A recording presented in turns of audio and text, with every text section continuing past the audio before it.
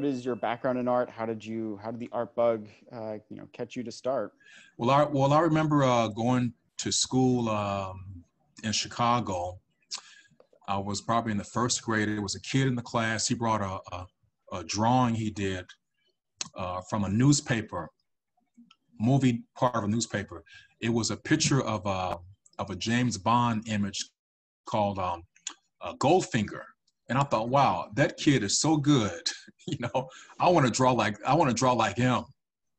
And so, you know, I began to try to draw a little bit more. And um, of course, you know, um, things happen in life. You know, you know, my mom remarried, and my uh, stepdad, who I call my my second father, he was an amazing artist. I mean, when he was dating my mom, he would come by in in Chicago in his Shelby Cobra GT500 and pick her up. And before he'd leave, he would draw with me. He would sketch. And I wanted to have hands shaped just like him. And so um, when they married, you know, uh, I kept drawing. I was drawing cartoon characters and racing cars. And then uh, gradually I began to uh, draw animals. And he was always encouraging me.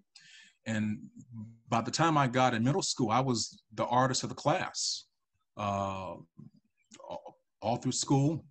Fast forward, uh, went to live in Chicago with my dad, biological dad in Chicago.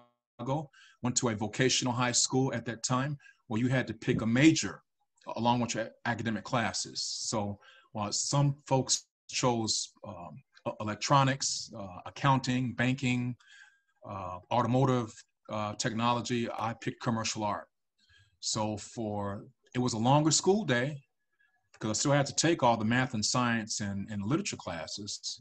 So it, it, was a longer school day, but I was learning how to do commercial art, which is um, pen and ink drawing, watercolor, uh, acrylic, airbrush, uh, printmaking from uh, silk screen to etching to woodcuts.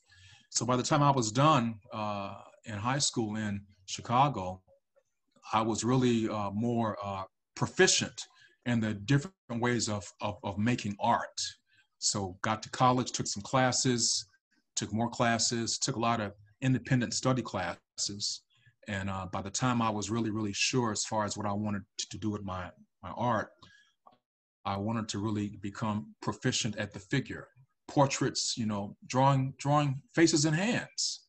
Um, and so um, that's in my 20s, uh, 30s. Uh, I began to become tied to the Los Angeles uh, Black arts community, where I met uh, John Outterbridge, uh, who really was uh, part of the Black arts movement in Angeles with the assemblage artists, you know, who basically assemblage is, is piecing together or assembling found objects into a three-dimensional uh, piece of work. And so when I went to uh, Outterbridge's house, um, I was challenged to try to express the figure, you know, jazz things, any idea in a three-dimensional format with more uh, collage. And so uh, that began to have a, a shift in my work like around that time, I read the autobiography of Malcolm X. Um, you know, uh, had already read that, and so I began to really, um, uh, really try to uh, express art with more social commentary, uh, with the influence of my background, which was uh, comic books when I was growing up. You know, uh, and, and also just what I was taking in, in school, classes I was taking, I had I had joined a couple of uh, study groups. Uh, one of them was a, a study group uh, that dealt with uh, um, Marxism, which was a, a critique of uh, capitalism. And so I was looking at the world a different way, uh, social and um, economically, and how that was impacting um, the Black community.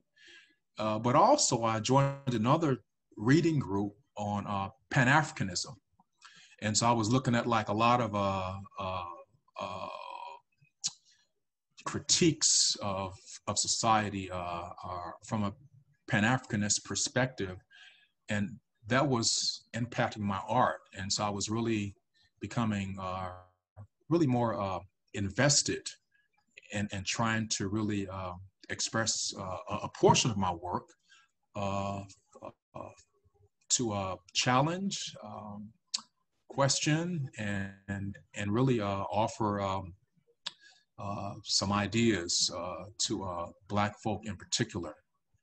Around that time, I began to really have an interest in, in, in African American art history. And so I uh, began to become curious about the uh, arts collectives, because I was a part of an arts collective in Los Angeles uh, called the LA Collective. Uh, and so I learned about the AfriCOBRA art movement, which stands for the African Commune of Bad Relevant Artists and I began to, to contact uh, those folk.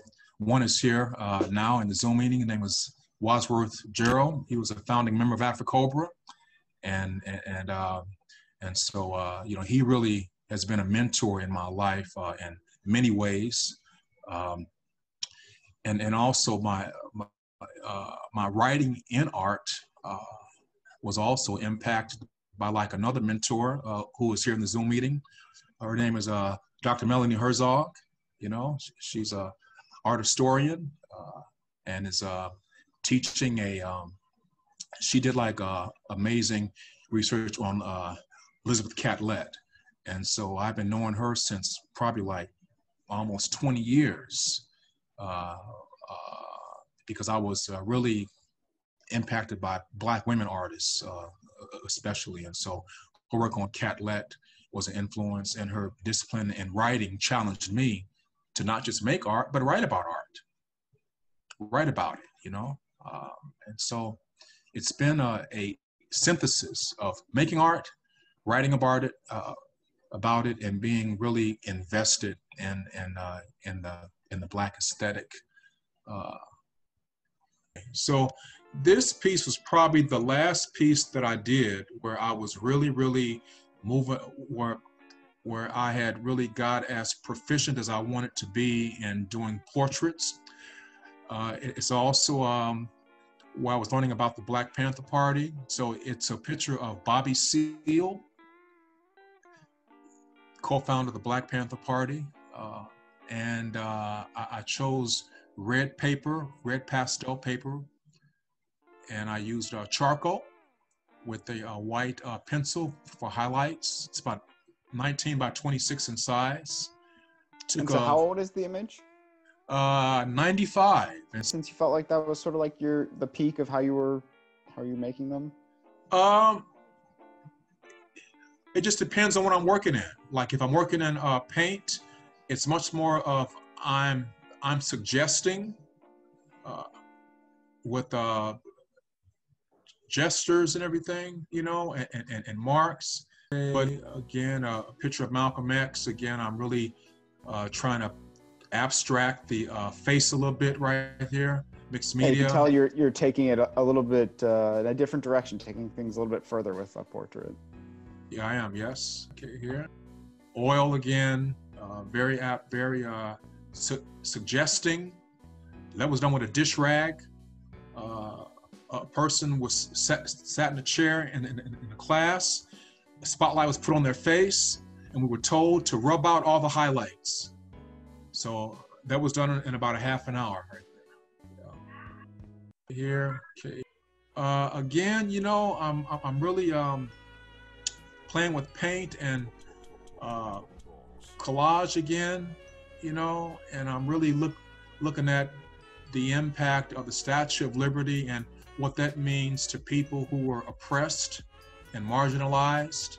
Okay, they come here for like a new way of life and they really get hit with a lot of challenges. This is a so what does the Statue of Liberty feel like to to a person, you know, you know, who's been who's been um you know killed by the police, you know, you know, knee on the neck and kill, you know, well, uh, this expresses that sentiment of, of, of, uh, frustration, anger of what Statue of Liberty means to uh, uh, an oppressed group. Uh, and so I found a picture of a Sports Illustrated magazine, Okay. and the cover of it was a pit bull with his fangs out, and it said, "Beware of this dog." Yeah.